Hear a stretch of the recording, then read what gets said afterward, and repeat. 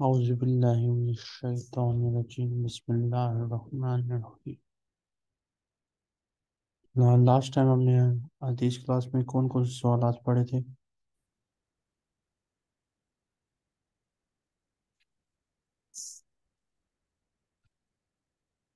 موضوع پر مسا کرنا کیسا ہے۔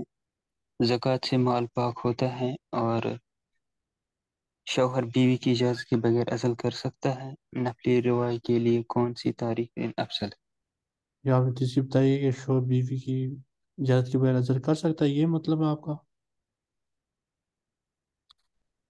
جی جی۔ نہیں کر سکتا۔ یہ کوشچن پڑا تھا۔ ہم نے حدیث میں پڑھا نہیں کر کہ سکتے نہیں کر سکتا۔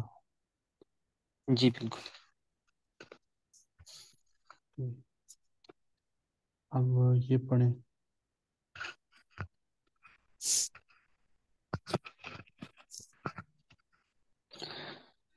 بسم اللہ الرحمن الرحیم۔ عبداللہ بن مسعود رضی اللہ تعالی عنہ کہتے ہیں کہ رسول اللہ صلی اللہ علیہ وسلم نے فرمایا، جو شخص فاقہ کا شکار ہو اور اس پر صبر نہ کر کے لوگوں سے بیان کرتا پھرے، تو اس کا فاقہ ختم نہیں ہوگا اور جو فاقہ کا شکار ہو اور اسے اللہ کے حوالے کر کے اس پر صبر سے کام لے، تو قریب ہے کہ اللہ تعالیٰ اسے دیر یا سویر روزی دے گا۔ یعنی کہ اگر کوئی بندے پہ اس قسم کا فائنینشیل کرائسس آ جائے تو بندہ کوشش یہی کرے کہ لوگوں کے آگے اس کا بیان نہ ہی کرے خود سے اعلان نہ کرے۔ ٹھیک ہے؟ جی۔ صرف اللہ کو ہی بتائے تو پھر اللہ تعالیٰ اس کو دیر یا سویر روزی دے دیتے ہیں۔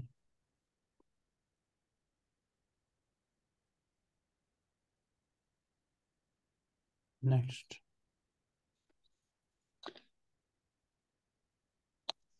بسم اللہ الرحمن ابو وائل شقیق بن سلمہ کہتے ہیں کہ معاویہ رضی اللہ عنہ ابو حاشم بن عطبہ بن ربیع القرشی کی بیماری کے وقت ان کی عیادت کے لیے آئے اور کہا، اے مامو جان، کیا چیز آپ کو رلا رہی ہے؟ کسی درد سے آپ بے چین ہیں یا دنیا کی حرص ستا رہی ہے؟ ابو ہاشم نے کہا، ایسی کوئی بات نہیں ہے۔ البتہ رسول اللہ صلی اللہ علیہ وسلم نے مجھے ایک وصیت کی تھی۔ جس پر میں عمل نہ کر سکا۔ آپ نے فرمایا تھا، تمہارے لیے پورے سرمایہ میں سے ایک خادم اور ایک سواری جو اللہ کی راہ میں کام آئے کافی ہے، جبکہ اس وقت میں نے اپنے پاس بہت کچھ جمع کر لیا ہے۔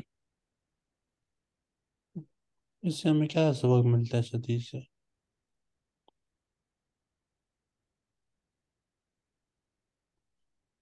اس حدیث سے ہمیں یہ سمجھنے لگتی ہے کہ ہمیں بہت زیادہ کچھ جمع نہیں کرنا چاہیے۔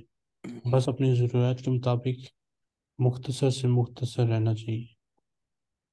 ٹھیک جی ہے اور دوسری بات یہ بھی پتہ چل رہی ہے کہ مریض کی عیادت کرنے کے لیے جانا چاہیے۔ صحیح ہو گیا۔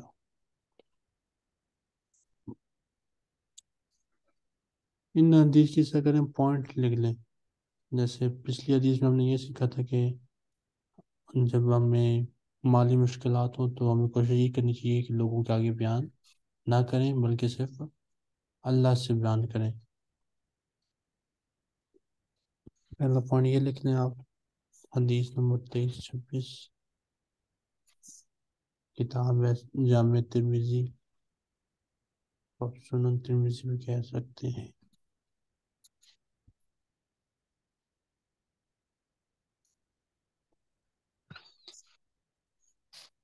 جب آپ یہ لکھ لیں پھر بتانا مجھے۔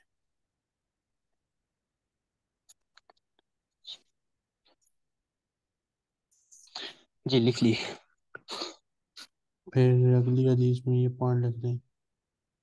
ایک تو آپ نے بتایا بیمار کی عیادت والا اور جی۔ دوسرا پوائنٹ یہ لکھ لیں کہ ہمیں کوشش یہ کرنی چاہیے کہ زیادہ مال جمع نہ کریں۔ اس میں پھر یہ ہوتا ہے کہ یا تو بندہ لوگوں کو دے دے صدقہ کر دے یا پھر کسی تجارت میں لگا دے۔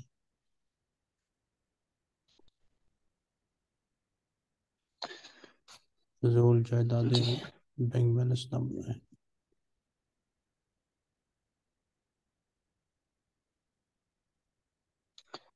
سر۔ ہم یہ حدیث پڑھیں۔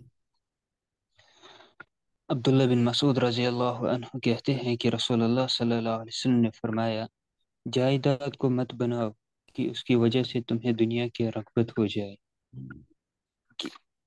ویسے میں یہ پتہ چلتا ہے، بس اپنی ضرورت کا بندہ ایک مقام نہ لے اور باقی فضول مکانات بنانے کی کوشش نہ کرے۔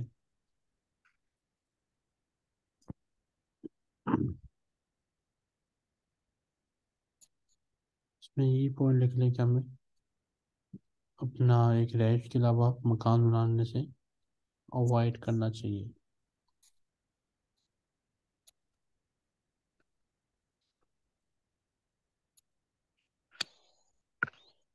نیکسٹ اسٹوڈنٹ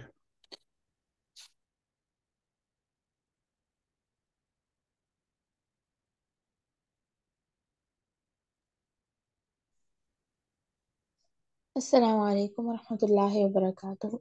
وعليكم السلام ورحمة الله وبركاته.